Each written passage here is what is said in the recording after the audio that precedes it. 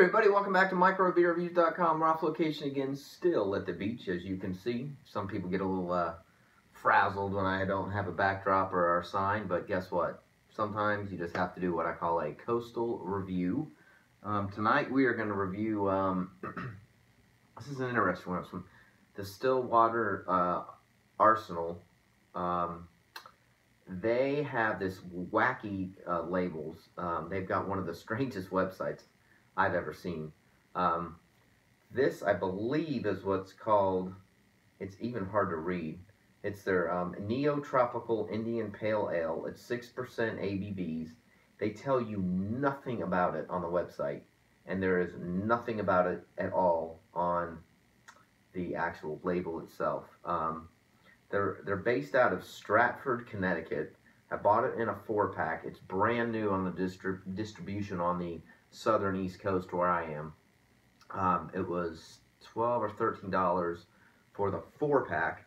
Um, it's interesting. I cheated. I actually had one at the store. Um, they had just opened one because it literally had just come off the truck. So I had about an ounce of it, and uh, it was it was interesting. So it's considered an Indian Pale Ale at only 6% ABVs. Most are going to be a little bit higher than that. Um, what also is interesting, you're going to notice I'm not going to pour all of this in here. Stop about right there. I know the lighting is not good. There's a ton of residuals down there, a bunch of flaky, frosted flakes looking things in there. So this is not extremely filtered.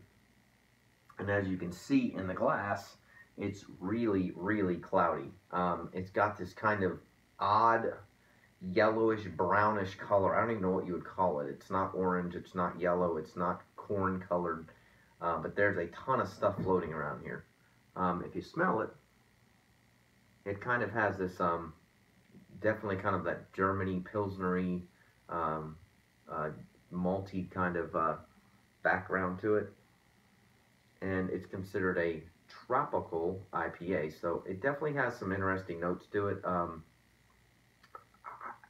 I, I would definitely not say it has a lot of, uh, you know, fruitiness to it. There's a little bit of maybe like a lemon, maybe an orange, maybe. But there's really not a lot of, uh, not a lot of much of aroma at all. So um, we're going to get into the glass here and try to give it uh, the old college try here.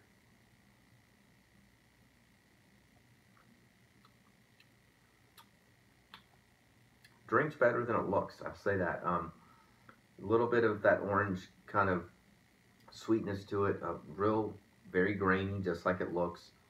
Um, kind of has like a like a cornmeal, um, almost what I would call, uh, um, you know, and it almost tastes like it uh, has a background of like what Corona tastes like. Um, very sweet corn.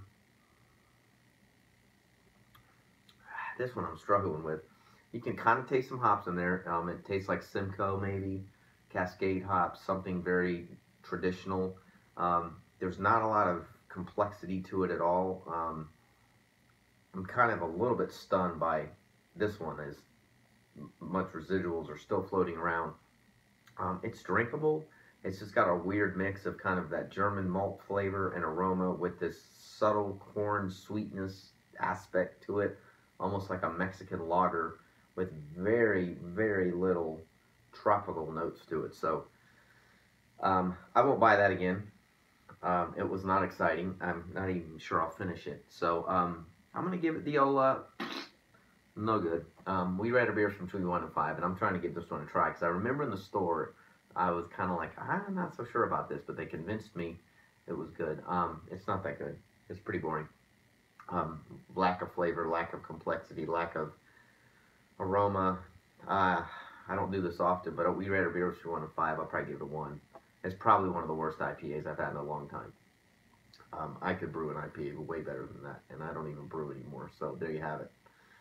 So if you've tried this before, let us know. Leave comments on YouTube channel. Please tell me I'm wrong. I want to be wrong when I have to rate beer, beers that bad that I just spent $12 for a four pack. But that's why we do these videos. So uh, leave comments on YouTube channel. Thanks for watching. Please subscribe to our YouTube channel because we upload all the time. And we will see you again real soon.